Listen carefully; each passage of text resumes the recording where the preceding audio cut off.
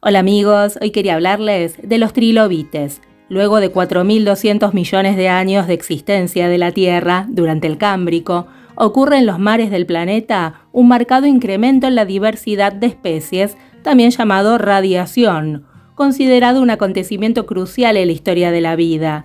Durante la época inicial de este periodo, surgieron en el medio marino de manera repentina numerosos organismos multicelulares, en muchos casos provistos de algún tipo de exoesqueleto. Durante este acontecimiento llamado la explosión cámbrica, aparecieron casi todos los grandes grupos de animales marinos modernos, junto con algunos exclusivos de este intervalo.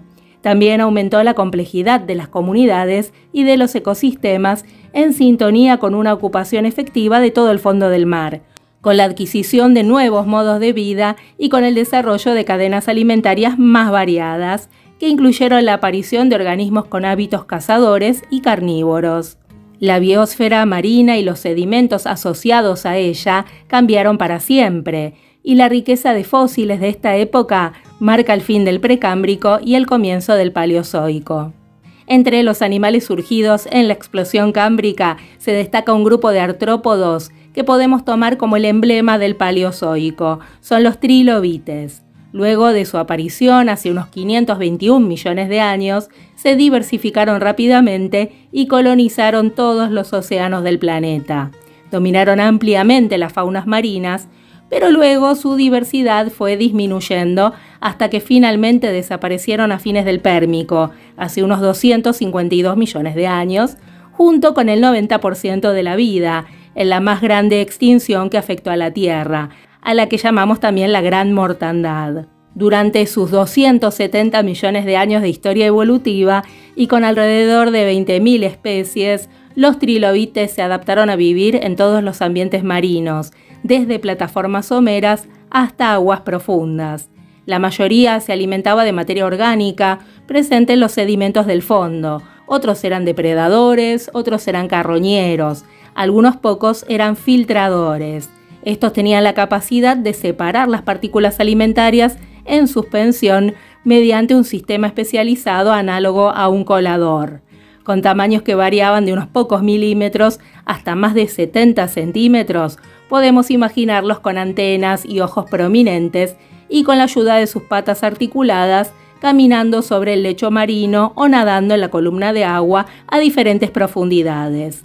Una armadura los protegía, era la cutícula dorsal, rica en carbonato de calcio. Era un caparazón recorrido por dos surcos longitudinales que lo dividían en un lóbulo central y dos lóbulos laterales. Esto le da su nombre en latín al grupo, trilobita o tres lóbulos. Transversalmente el cuerpo de los trilobites también tenía tres partes. En la región anterior el escudo cefálico tenía ojos que con múltiples lentes constituyeron el primer aparato visual complejo del reino animal. Ventralmente, el céfalon exhibía un par de antenas y la boca. Esta estaba asociada con una placa dura, cuya forma y sostén se relacionaba con el tipo de dieta del animal. En la parte media, el tórax, compuesto por segmentos articulados entre sí, le daba flexibilidad a la armadura rígida y permitía a los trilobites moverse sobre obstáculos, girar e inclusive enrollarse. Cada segmento se correspondía en la zona ventral con un par de patas asociadas con laminitas branquiales. El escudo posterior, llamado pigidio, estaba formado por unos pocos segmentos fusionados. Lo que generalmente se conserva como fósil es el muy resistente exoesqueleto dorsal calcificado y sus mudas, también calcificadas. Gracias a esta particularidad, sabemos que cada trilobite tenía una profunda metamorfosis a lo largo de su vida. Primero, la cutícula dorsal de la larva era un escudo muy pequeño, casi invisible a simple vista. Solamente se distinguía el céfalon, ya que el tórax y el pigidio todavía no se habían diferenciado. En la fase siguiente se formaba el pigidio y se iban sumando uno tras otro los segmentos torácicos hasta alcanzar el número definitivo de cada especie. En ese momento el animal se convertía en un adulto. La profundidad de los cambios morfológicos sufridos durante este proceso hace difícil imaginar que la larva y el adulto hayan correspondido a un mismo organismo. En varias especies estas transformaciones iban acompañadas de cambios en el modo de vida. Las pequeñas larvas vivían flotando en la columna de agua, mientras que los adultos vivían en el fondo marino. Esta situación evitaba la competencia entre miembros de la misma especie cuando estaban en distintos momentos de su crecimiento. La mayoría de los trilobites tenían ojos compuestos, con cientos o miles de pequeñas lentes que funcionaban como cristalinos individuales y colaboraban para formar imágenes muy nítidas.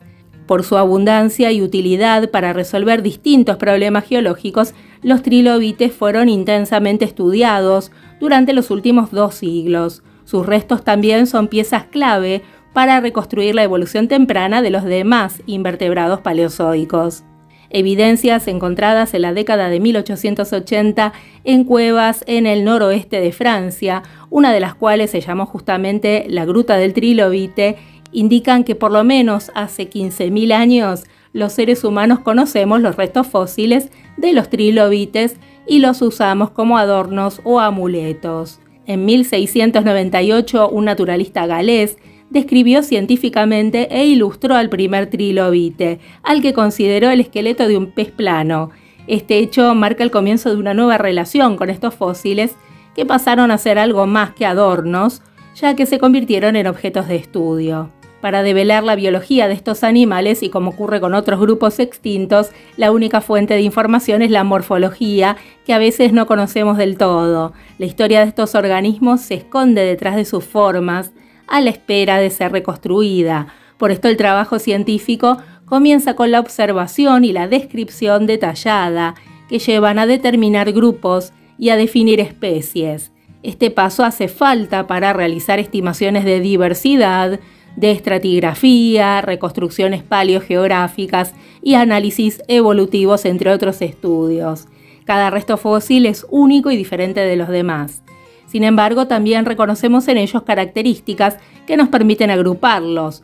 Pero ¿cómo podemos saber cuáles diferencias entre dos o más individuos son parte de la variación interna de una misma especie o variación intraespecífica y cuáles permiten distinguir entre varias especies?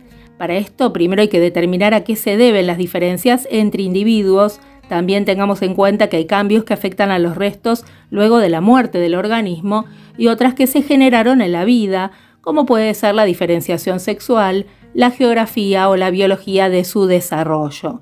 Esto significa que hay una gran variación dentro de la especie, y esto existía y en gran manera entre los trilobites. Voy a darles dos ejemplos de trilobites que habitaron en la Argentina. En la región del noroeste argentino vivieron los trilobites durante el Cámbrico tardío y el Ordovícico temprano. Esta zona era muy diferente de lo que conocemos hoy, ya que en ese momento era una extensa plataforma marina que se extendía hasta lo que ahora es Colombia. En este antiguo mar vivían distintas faunas de invertebrados, cuyos restos se conservaron de manera muy completa en las rocas. Después de una larga historia geológica que incluyó la formación de montañas, en la actualidad, estos estratos que contienen trilobites se encuentran a grandes alturas sobre el nivel del mar en la cordillera oriental de Salta y de Jujuy, un lugar donde no esperaríamos ver animales marinos.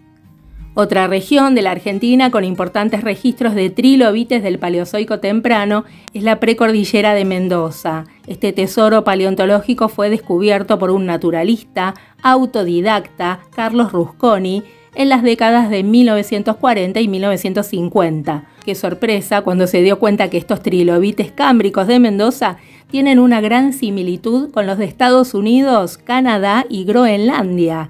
Efectivamente, buena parte de los géneros identificados en la precordillera argentina son compartidos con América del Norte, pero resulta que durante el Cámbrico y el Ordovícico, en realidad América del Sur estaba unida con África, también con Australia, la Antártida y otros bloques continentales menores. Sin embargo, a comienzos del Paleozoico, la región donde ahora está Mendoza, que llamamos en Argentina la región de Cuyo, tenía una posición muy distinta de la actual. Esta zona habría sido un fragmento desprendido de una antigua placa continental llamada Laurentia, que muchas veces fue un continente separado y hoy es América del Norte.